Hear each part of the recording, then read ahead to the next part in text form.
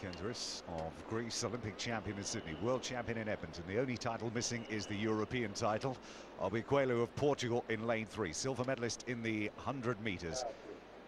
Marlon Devonish in lane four and Christian Malcolm in lane seven going for Great Britain, but it's Kenteris who gets away the strongest. Devonish got away well too. Devonish and Kenteris onto the bend, but it's Kenteris that's running the perfect bend. Kenteris is going to come off in the lead. Obikwelu in second. It's Kenteris who's going to power home unchallenged. He's going to pick up the only title that he hasn't got. Kenteris of Greece. Obikwelu is going to take the silver. Marlon Devonish of Great Britain takes the bronze. Well, he hasn't competed this season and he won't after this. He puts all his energies into training and it's really paid rich dividend. The final of the 110 metres hurdles. Colin Jackson of